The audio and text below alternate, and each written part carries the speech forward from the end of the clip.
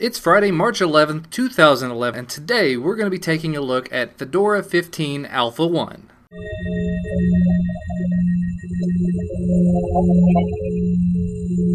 Yes, you heard me correctly. This may look like the GNOME 3 Beta 1 first look video. However, I've not gotten to that point yet. This is the Fedora 15 Alpha because Fedora 15 by default is going to be using GNOME 3 or GNOME Shell. Now, some of the key features of this newer version of Fedora include, as I mentioned, updated desktop environments. The default, of course, is going to be GNOME 3. There is also going to be the latest version of KDE, KDE 4.6 available, and the newest version of XFCE, which, if I remember correctly, is still 4.8. Now, since the primary new feature of this new version is that GNOME 3 is a new desktop environment, I thought it would be appropriate to just take a quick walkthrough of Fedora 14 Alpha 1's implementation of it.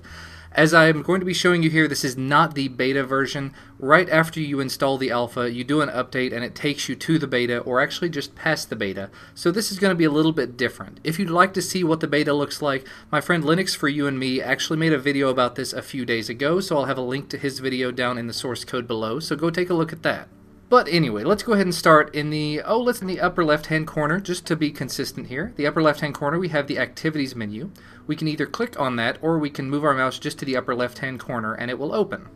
You see there, we went to the Open Running Applications. I've got one running, and that is FFmpeg, which is actually doing my screencasting for me. You see here at the bottom, it's got the different workspaces that are available. I can either click on them to switch between them, or in a very interesting change of pace, something I wasn't aware of, I can click and drag over to the next one, which feels a lot like some of the mobile devices that we've seen a lot out of lately. Now, if you want to manage the open workspaces or the available workspaces in this version of GNOME 3, you come over to the side. There's a plus and minus button. Minus will take away additional ones, and plus will add new ones. You have to be on the one you want to remove to actually remove it, though. And now you see I hit plus, and it'll add quite a few down here at the bottom. I can hit minus to take them all away. I can very quickly and easily add a new one, move the item from one desktop over to the next, move it back very easily. It, it doesn't show as well unless you have multiple windows running, so let's go ahead and open Firefox. That gives us a chance to show off some of the new software as well. See here we have Firefox 4.0 Beta 11. I noticed right after installing the alpha on a machine at work it updates to Beta 12. However, since then it updated even again. I think it's on the release candidate now. But if I go back into the activities window, you see I've got two options here now, two items running. I can click and drag one over to the next available desktop. And if I wanted to, I could drag it over to the plus sign and start a third desktop. And you can make this as complex or as simple as you like. Now other than that, moving items around that are currently running, you see here we've got our list of favorite applications over on the right hand side. Terminal is not in there by default, but it shows up because it's running. This is actually kind of similar to the launcher that you see in the new version of Ubuntu's Unity interface, so it's kind of nice to have some consistency at least among the shells. But if you want to see any of the available applications, you can do that one of two ways. You can either click on the Applications button, which will show you all of the applications that are installed, you can come down here and look at the side to view all the different categories. I've noticed with an update these categories actually end up changing. They added system tools down here at the bottom. They added, I think, sound and video, but maybe that only showed... They may have changed multimedia to sound and video. I'm not really sure. So it is definitely possible to view just the applications you want pretty easily, pretty quickly. Not too bad at all. Uh, if you have an application list that's long enough that you would actually need to scroll it, the scroll wheel on a mouse will work, so that's pretty awesome. The other way that you can view applications that you've got available is to come up to the search your computer bar. And you'll notice by default, if I go ahead and just click on activities or move up to it or hit the super key on the keyboard, and I start typing, let's just type cheese for example, C-H, it immediately jumps up to that right hand corner to this search box without having to click on anything. So that's very handy for keyboard users. And you see here keyboard or when I started typing in cheese, cheese showed up as the first application available. If I hit down and up arrows instead of left and right, because left and right moves over here on the right hand side between the letters that I've typed, Anyway, down and up, we'll change the selected box to whatever you want to select next. And we are back after a bit of a hiatus there, you may not have noticed. Uh, when I tried to open Cheese just a moment ago, this actually crashed the entire interface. I didn't lose any of the work from the live system, so that's a big thumbs up there. However, it does go to show it is still in the alpha phase, so if you do think of trying this out, definitely don't put it on a production system yet. The machine I've got it on at work is nothing production-wise, so uh, let's go ahead and move on. So as I was saying before, if you start typing in the upper right hand corner, it will search through your applications and your preferences to see what you're looking for, to see if it can find something for you. If it can't find what you're looking for though, you can see down here at the bottom you've got Wikipedia and Google. If you click on one of those, it should open up Firefox for you and search for whatever you've typed in. So uh, you can sort of start to see how, if you're a keyboard user, this can be really useful for you because you hit the super key, you start typing whatever you want to find, like this week in Linux, and then hit Google, and I think you might be able to just tab into that or arrow into that one way or another. And there you go. It opens up Firefox and shows you the, the most awesome website on the entire internet. And then we're going to go ahead and close out of that. Other than that, within the activities window, there's only one more thing I think that's probably appropriate to show you. We've gone through the different windowing and everything. Uh, the one last thing would be interacting with this favorites bar. Now, if you want to add something to your favorites, you just click on it and then you drag it over to your little bar over here, add it to the bar, and you're done. If you want to remove something from the bar in much the same way, you click on it and you drag it down here to the remove button, or you can right click on it and say remove from favorites. Alright, let's move through the rest of the interface kind of quickly. Here in the middle we've got the clock that you can't really do anything to other than left or right click on to view your calendar, your date and time settings, and to open the calendar. Other than that, I don't think you can really change anything. You can just view your agenda that's coming up. So that's it's a whole lot better than it used to be. Before you couldn't do anything to it. Now you at least have something when you click on it. Moving on, we've got our connection settings. You see we've got our wireless and wired networks. Here we see auto EM1 instead of ETH0. That's actually one of the other big changes they made was changing the way that network devices are named. This says that it's an embedded network device and it's device number 1. If it were wireless, I'm not sure exactly what it would be named, but it would probably be EM2. I'm just guessing on that one because I don't have the firmware to make my wireless device work here. Moving on along the list, though, we've got the accessibility options here, all of them available and all of them turned off by default. We've got the sound menu, which should be pretty familiar. If you go into sound settings, you see here we've got our sound effects. This is all the traditional GNOME sound interface, and now you can see that where I'm talking.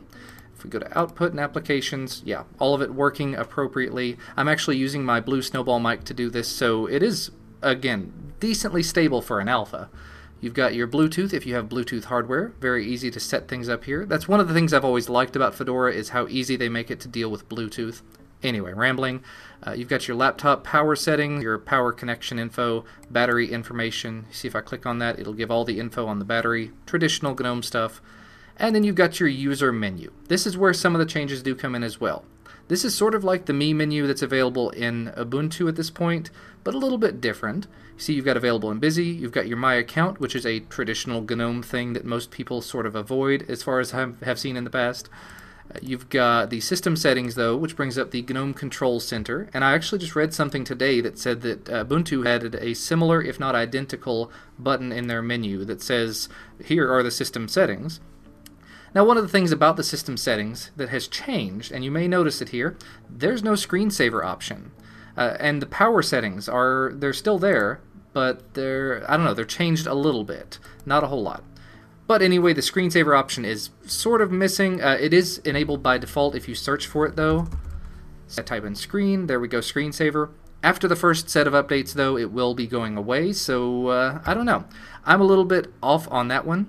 Uh, in addition, after the first set of updates, while I'm thinking about it, minimize and maximize buttons do disappear. The workspace management over here changes to where you've got boxes instead of having the plus and minus button.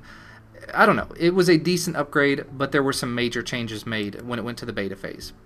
Moving back to the system menu though, lock screen, switch user, logout, suspend, and shut down. These tend to go a little bit wonky in my experience as well. The shutdown option tends to disappear.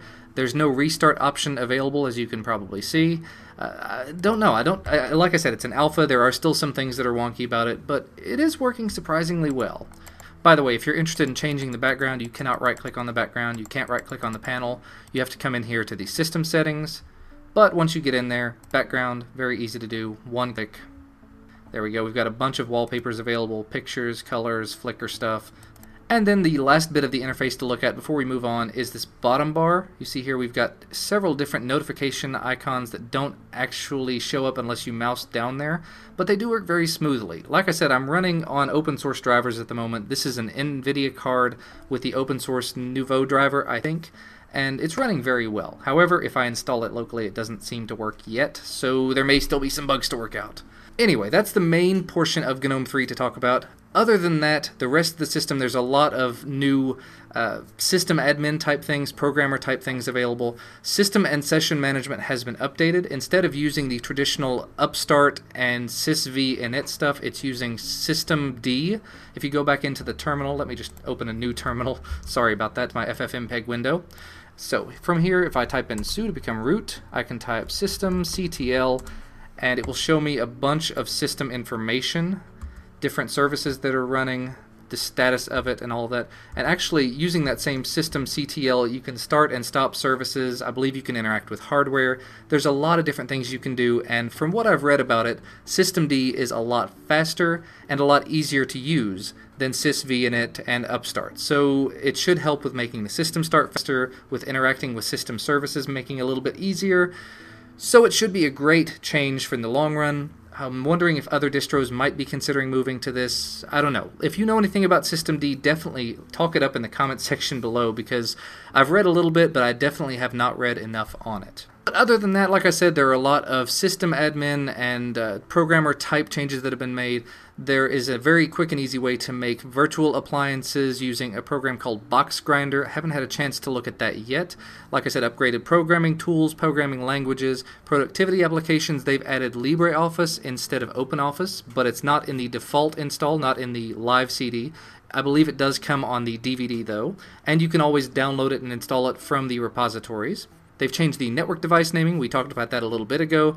They've added support for a dynamic firewall. Again, not 100% sure on what all that's about, but Fedora has always been pretty good on providing firewall options to the end user. You see here we've got preferences, firewall.